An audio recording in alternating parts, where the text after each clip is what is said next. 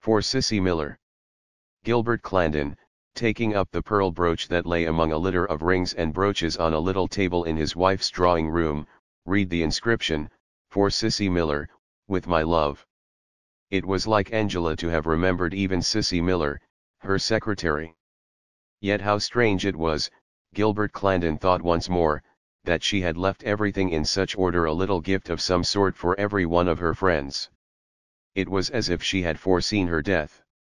Yet she had been in perfect health when she left the house that morning, six weeks ago, when she stepped off the curb in Piccadilly and the car had killed her. He was waiting for Sissy Miller. He had asked her to come, he owed her, he felt, after all the years she had been with them, this token of consideration. Yes, he went on, as he sat there waiting, it was strange that Angela had left everything in such order. Every friend had been left some little token of her affection. Every ring, every necklace, every little Chinese box she had a passion for little boxes had a name on it. And each had some memory for him. This he had given her, this the enamel dolphin with the ruby eyes she had pounced upon one day in a back street in Venice. He could remember her little cry of delight. To him, of course, she had left nothing in particular, unless it were her diary. Fifteen little volumes, bound in green leather, stood behind him on her writing table. Ever since they were married, she had kept a diary. Some of their very few he could not call them quarrels, say tiffs had been about that diary. When he came in and found her writing, she always shut it or put her hand over it. No, no, no, he could hear her say, after I'm dead perhaps. So she had left it him, as her legacy. It was the only thing they had not shared when she was alive. But he had always taken it for granted that she would outlive him. If only she had stopped one moment, and had thought what she was doing, she would be alive now. But she had stepped straight off the curb, the driver of the car had said at the inquest. She had given him no chance to pull up. Here the sound of voices in the hall interrupted him. Miss Miller, sir, said the maid. She came in. He had never seen her alone in his life, nor, of course, in tears. She was terribly distressed, and no wonder. Angela had been much more to her than an employer. She had been a friend. To himself, he thought, as he pushed a chair for her and asked her to sit down, she was scarcely distinguishable from any other woman of her kind. There were thousands of Sissy Miller's drab little women in black carrying attaché cases. But Angela, with her genius for sympathy, had discovered all sorts of qualities in Sissy Miller. She was the soul of discretion, so silent, so trustworthy, one could tell her anything, and so on. Miss Miller could not speak at first. She sat there dabbing her eyes with her pocket handkerchief. Then she made an effort. Pardon me, Mr. Clandon, she said. He murmured. Of course he understood. It was only natural. He could guess what his wife had meant to her. I've been so happy here, she said, looking round. Her eyes rested on the writing table behind him. It was here they had worked she and Angela. For Angela had her share of the duties that fall to the lot of a prominent politician's wife. She had been the greatest help to him in his career. He had often seen her and Sissy sitting at that table Sissy at the typewriter, taking down letters from her dictation. No doubt Miss Miller was thinking of that, too. Now all he had to do was to give her the brooch his wife had left her. A rather incongruous gift it seemed. It might have been better to have left her a sum of money, or even the typewriter. But there it was for Sissy Miller, with my love and, taking the brooch, he gave it her with the little speech that he had prepared. He knew, he said, that she would value it. His wife had often worn it. And she replied, as she took it almost as if she too had prepared a speech, that it would always be a treasured possession. She had, he supposed, other clothes upon which a pearl brooch would not look quite so incongruous. She was wearing the little black coat and skirt that seemed the uniform of her profession. Then he remembered she was in mourning, of course. She, too, had had her tragedy a brother, to whom she was devoted, had died only a week or two before Angela. In some accident was it? He could not remember only Angela telling him. Angela, with her genius for sympathy, had been terribly upset. Meanwhile Sissy Miller had risen. She was putting on her gloves. Evidently she felt that she ought not to intrude. But he could not let her go without saying something about her future. What were her plans? Was there any way in which he could help her? She was gazing at the table, where she had sat at her typewriter, where the diary lay. And, lost in her memories of Angela, she did not at once answer his suggestion that he should help her. She seemed for a moment not to understand. So he repeated. What are your plans, Miss Miller? My plans? Oh, that's all right, Mr. Clandon, she exclaimed. Please don't bother yourself about me. He took her to mean that she was in no need of financial assistance. It would be better, he realized, to make any suggestion of that kind in a letter. All he could do now was to say as he pressed her hand, Remember, Miss Miller, if there's any way in which I can help you, it will be a pleasure. Then he opened the door. For a moment, on the threshold, as if a sudden thought had struck her, she stopped. Mr. Clandon, she said, looking straight at him for the first time, and for the first time he was struck by the expression, sympathetic yet searching, in her eyes. If at any time, she continued, there's anything I can do to help you, remember, I shall feel it, for your wife's sake, a pleasure. With that she was gone. Her words and the look that went with them were unexpected. It was almost as if she believed, or hoped, that he would need her. A curious, perhaps a fantastic idea occurred to him as he returned to his chair. Could it be, that during all those years when he had scarcely noticed her, she, as the novelists say, had entertained a passion for him? He caught his own reflection in the glass as he passed. He was over fifty, but he could not help admitting that he was still, as the looking glass showed him, a very distinguished looking man. Poor Sissy Miller, he said, half laughing. How he would have liked to share that joke with his wife? He turned instinctively to her diary. Gilbert, he read, opening it at random, looked so wonderful. It was as if she had answered his question. Of course, she seemed to say, you're very attractive to women. Of course Sissy Miller felt that too. He read on. How proud I am to be his wife. And he had always been very proud to be her husband. How often, when they dined out somewhere, he had looked at her across the table and said to himself, she is the loveliest woman here. He read on. That first year he had been standing for Parliament. They had toured his constituency. When Gilbert sat down the applause was terrific. The whole audience rose and sang, for he's a jolly good fellow. I was quite overcome. He remembered that, too. She had been sitting on the platform beside him. He could still see the glance she cast at him, and how she had tears in her eyes. And then? He turned the pages. They had gone to Venice. He recalled that happy holiday after the election. We had ices at Florian's. He smiled she was still such a child, she loved ices. Gilbert gave me a most interesting account of the history of Venice. He told me that the Doges. She had written it all out in her schoolgirl hand. One of the delights of traveling with Angela had been that she was so eager to learn. She was so terribly ignorant, she used to say, as if that were not one of her charms. And then he opened the next volume they had come back to London. I was so anxious to make a good impression. I wore my wedding dress. He could see her now sitting next old Sir Edward, and making a conquest of that formidable old man, his chief. He read on rapidly, filling in scene after scene from her scrappy fragments. Dined at the House of Commons. To an evening party at the Lovegroves. Did I realize my responsibility, Lady L asked me, as Gilbert's wife.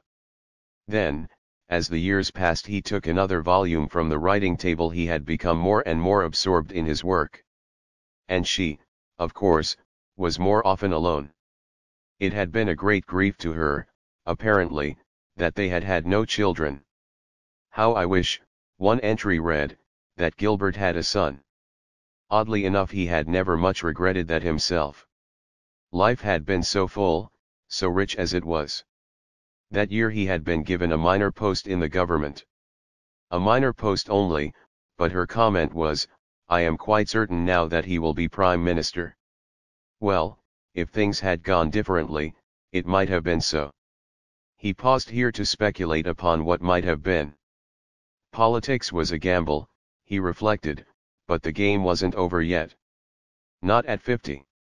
He cast his eyes rapidly over more pages, full of the little trifles, the insignificant, happy, daily trifles that had made up her life. He took up another volume and opened it at random. What a coward I am. I let the chance slip again. But it seemed selfish to bother him with my own affairs, when he has so much to think about. And we so seldom have an evening alone. What was the meaning of that? Oh, here was the explanation it referred to her work in the East End. I plucked up courage and talked to Gilbert at last. He was so kind, so good. He made no objection. He remembered that conversation. She had told him that she felt so idle, so useless. She wished to have some work of her own. She wanted to do something she had blushed so prettily, he remembered, as she said it, sitting in that very chair to help others. He had bantered her a little. Hadn't she enough to do looking after him, after her home? Still, if it amused her, of course he had no objection. What was it? Some district? Some committee? Only she must promise not to make herself ill. So it seemed that every Wednesday she went to Whitechapel. He remembered how he hated the clothes she wore on those occasions but she had taken it very seriously, it seemed.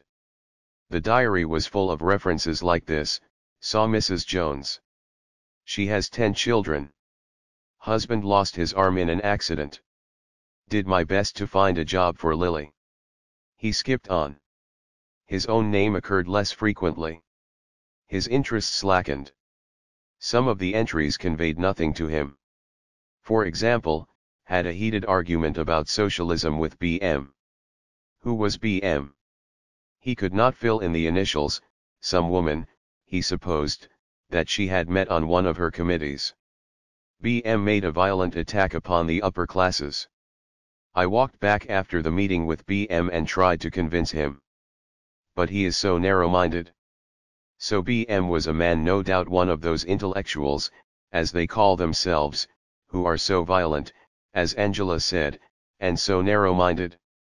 She had invited him to come and see her apparently. BM came to dinner. He shook hands with Minnie. That note of exclamation gave another twist to his mental picture. BM, it seemed, wasn't used to parlor maids, he had shaken hands with Minnie. Presumably he was one of those tame working men who air their views in ladies' drawing rooms.